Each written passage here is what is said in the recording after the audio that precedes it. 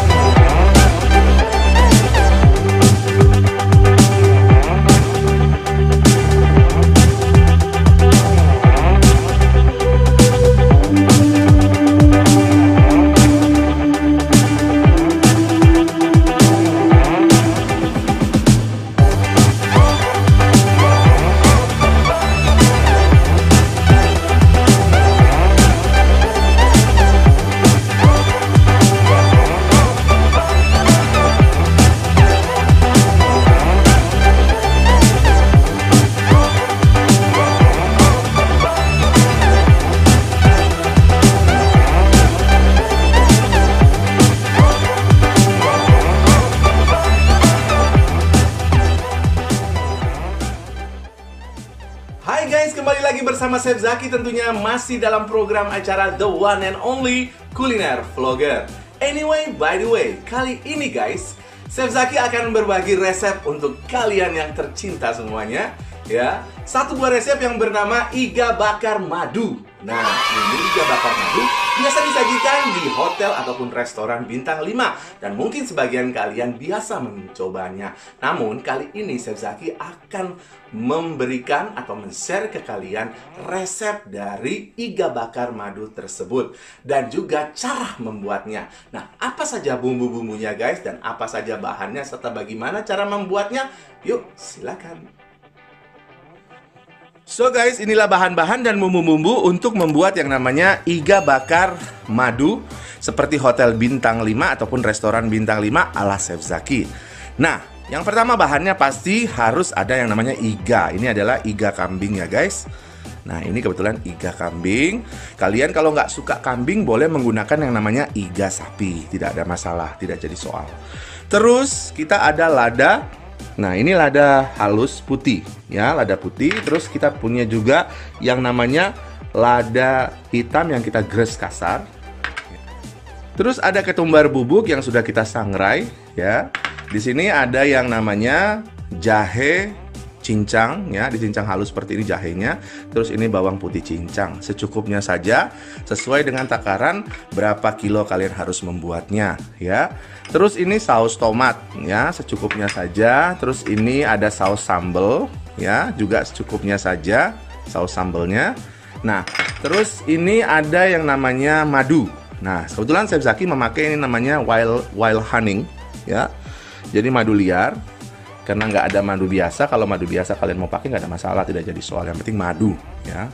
Nah, ini kecap manis. Nah, segala merek boleh dipakai. Tidak ada masalah, yang penting kecap manis. Terus ada garam dan margarin untuk menumis. Nah, bagaimana cara memproses atau mengeksekusi ya e, mengolah e, iga bakar madu ini?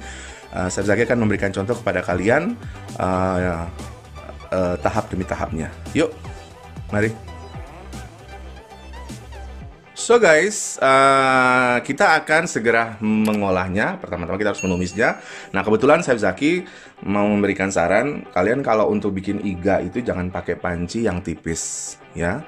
Usahakan yang tebel. Nah kebetulan Chef Zaki pakai ginian, nih bagus banget ya. Jadi dia semacam kayak uh, presto, tapi bukan presto. Jadi suhu panas dari uh, api yang disalurkan dari kompor kita itu benar-benar uh, merata di seluruh bagian uh, panci ini dan juga membuat iga tersebut cepat empuk dan juga uh, suhu iga itu teksturnya tidak merubah tekstur iga tersebut. Jadi tidak perlu tidak perlu lama kita merebusnya atau mengungkepnya karena uh, kalian bisa tahu iga termasuk iga kambing adalah atau iga sapi termasuk uh, bahan yang harus uh, lama direbus terkadang. Nah, kalau saya Zaki sarankan kalau kalian punya panci seperti ini ya yang tebel seperti ini nih. Nah, itu bagus banget untuk yang namanya masak daging-daging iga, sop buntut, atau kambing. Seperti itu guys. Nah, yuk kita mulai prosesnya. Pertama-tama guys, kita harus uh, panaskan dulu. Ya, seperti ini. Biarkan panas. Kalau sudah uh, wajannya panas, baru kita masukkan yang namanya margarinnya guys ya lalu kita masukkan margarinnya ya untuk menumis nah kalau sudah uh, pancinya cukup panas lalu kita cemplungkan yang namanya jahe dan bawang putihnya ya guys. Kita tumis sebentar di apa namanya apinya yang agak kecil. Sedang lah. Tidak terlalu kecil juga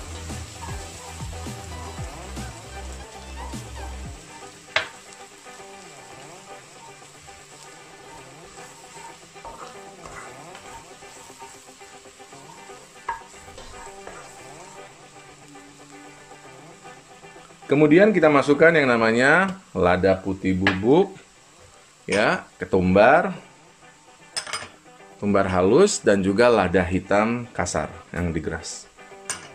Ya, terus kita tumis sebentar.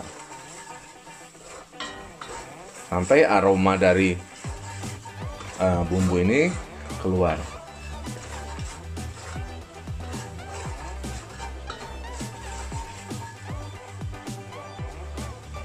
Kemudian kita masukkan yang namanya saus sambal ya. Dan saus tomatnya. Oke. Dan kita aduk rata lagi. Ingat ya selalu menggunakan jangan api yang terlalu besar agar tidak cepat gosong dan bertumis dengan sempurna.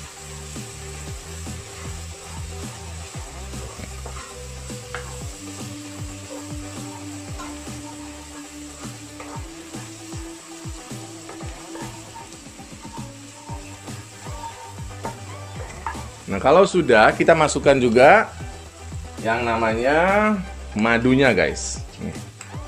Ya, jadi madunya kira-kira aja sesuai dengan uh, daging yang daging iga yang akan kalian buat. Ya, kita aduk sebentar.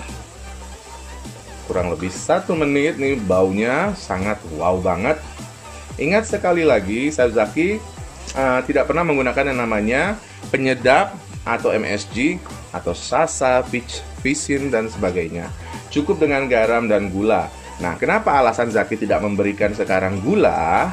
Karena buat saya Zaki madu itu pengganti gula, jadi cukup garamnya saja. Nah, kalau sudah kurang lebih satu menit, ya, kita sudah siap untuk memasukkan yang namanya iganya. Iganya sudah dicuci dan kita tiriskan seperti ini. Ya jadi kita masukkan semua iganya yang sudah kita cuci dan tiriskan. Ya seperti itu. Lalu kita aduk rata. Nah kalau iga sudah tercampur guys rata dengan bumbu baru kita masukkan yang namanya garamnya.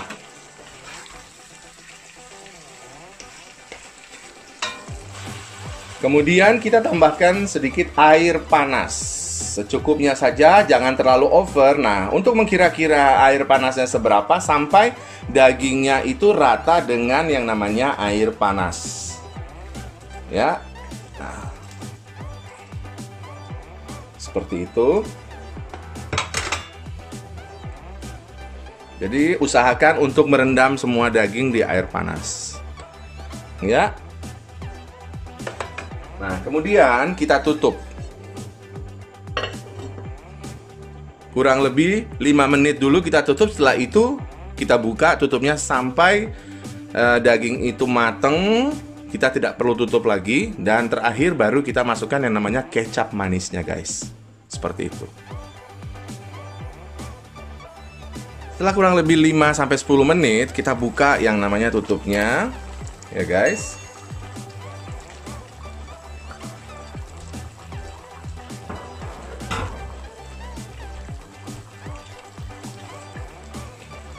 Kemudian kita aduk rata. Nah, saat airnya sudah mulai berkurang seperti ini, ini artinya kita sudah bisa mencicipi rasanya, ya. Oke, mengenai garamnya terutama. Oke, perfect. Nah, kalau sudah dicicipi garamnya sudah enak dan apa, baru kita masukkan yang namanya kecap manisnya.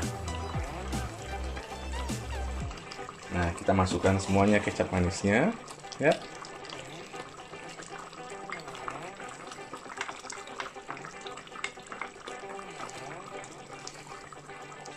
Ya, seperti itu.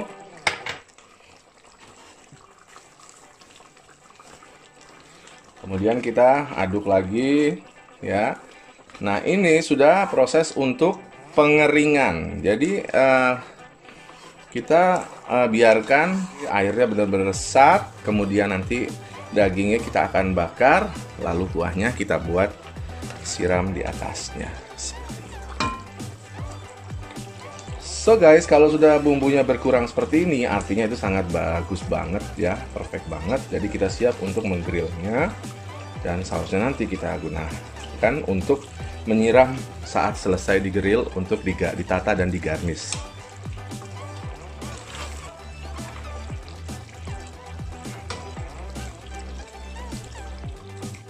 Nah, kemudian guys, kita siap untuk menggrillnya. Kita panaskan dulu uh, pan grillnya. Nah, kalau pan grillnya sudah panas, kita kemudian menata iga kambingnya untuk digrill guys seperti ini ya. Jadi usahakan apinya juga jangan terlalu besar ya guys, agak sedikit kecil.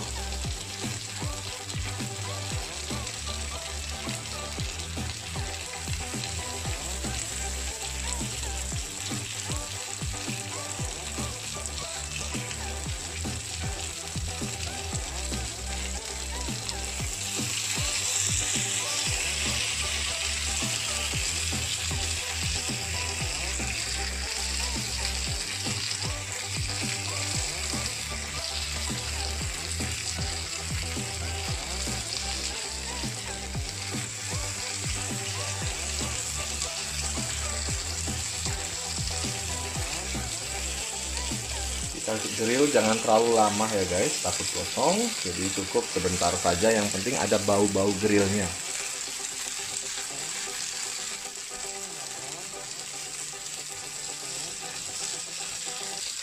Jadi cukup sebentar saja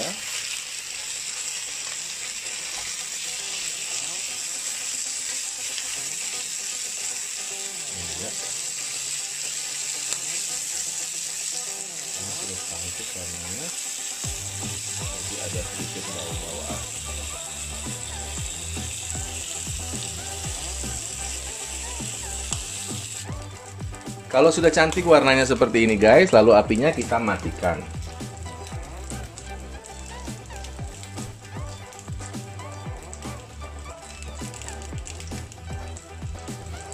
Kemudian kita mengangkatnya dan siap untuk kita sajikan di piring saji dan menggarnisnya guys jadi tata dan garnislah secantik mungkin dan semenarik mungkin agar yang orang yang ingin mencobanya pasti tertarik terutama buat orang-orang yang kita cintai dan sayangi. Seperti ini guys.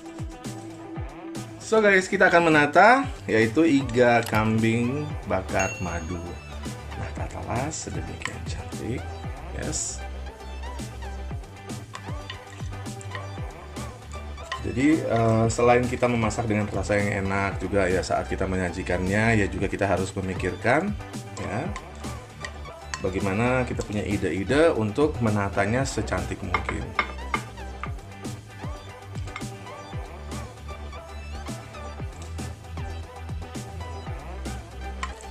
Agar yang menikmatinya pun uh, tertarik melihatnya saat memakannya gitu guys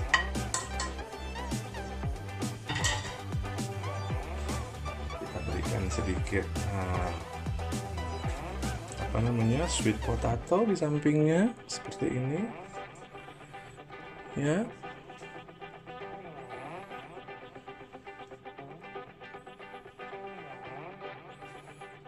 Jadi secukupnya aja jangan terlalu juga banyak banget ya guys.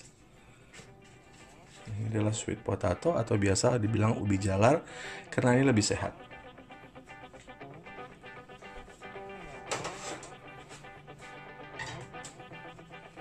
Ya, kemudian kita memberikan satu buah jagung rebus sebagai garnish juga. Ya pelengkap masakan ini.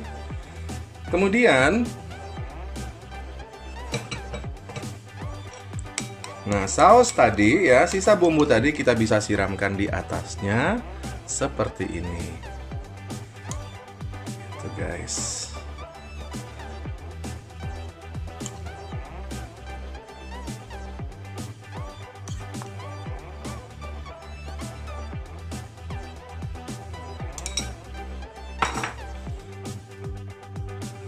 Lalu agar warnanya sedikit menarik, kita berikan taburan sedikit ya, hijau-hijau ya, bisa daun seledri, bisa daun peterselly. Gitu. Nah.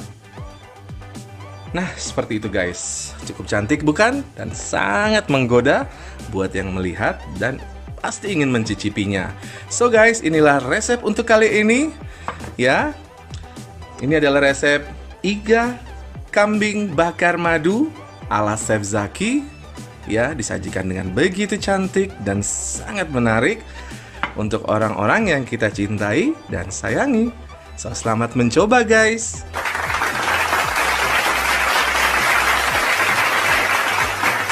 Alhamdulillah akhirnya selesai juga resep masakan untuk kali ini. Bagaimana?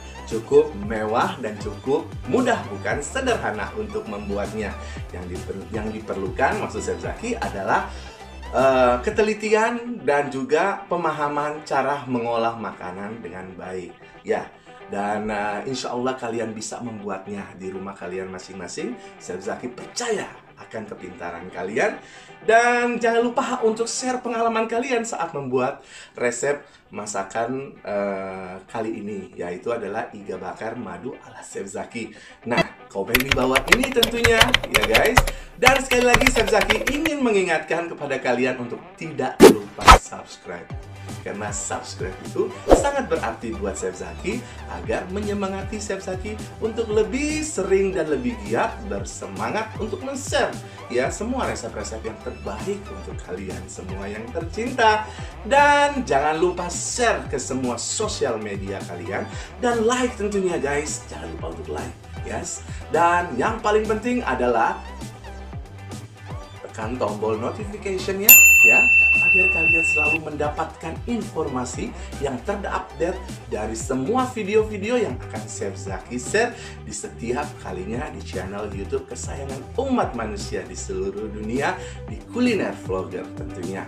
Dan sekali lagi Chef Zaki ucapkan terima kasih banyak yang sebesar-besarnya hanya Allah yang akan membalas dan insya Allah kita akan ketemu di resep-resep berikutnya dan program-program berikutnya di program acara kuliner vlogger tentu tentunya the one and only hanya ada di channel YouTube kesayangan kalian. Dan pesan saya Zaki jangan lupa untuk bahagia karena bahagia itu sangat penting. Bahagia mempunyai kekuatan untuk menyemangati kehidupan kita. Terima kasih. Wassalam. Bye bye.